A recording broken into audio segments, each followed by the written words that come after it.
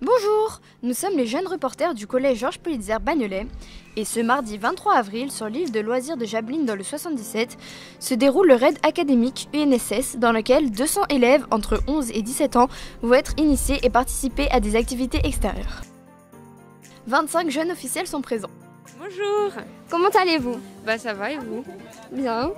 Qu'est-ce que vous faites euh, Bah moi je suis euh, JO donc euh, en gros je- j'organise les épreuves. et- Est-ce que vous pensez que votre équipe est bien placée Euh, ils sont pas encore arrivés donc euh, je pense pas mais on vient pour s'amuser donc c'est pas grave.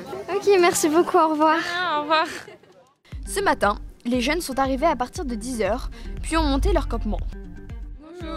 Alors êtes-vous bien installé Oui. Euh, oui. Avez-vous une activité préférée? Pas trop, non. Course d'orientation. Comment vous vous sentez pour la suite? Bien. Un peu stressé.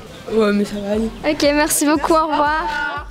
Les activités ont débuté à 15h avec du trail, puis du VTT roadbook, du laser run et du run and bike.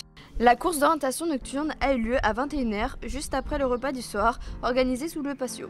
En fin de soirée, un acrobranche était à disposition de tout le monde avec la tyrolienne la plus grande d'Île-de-France. Et surtout, n'oubliez pas qu'une journée sans rire est une journée de perdu. Alors souriez, à demain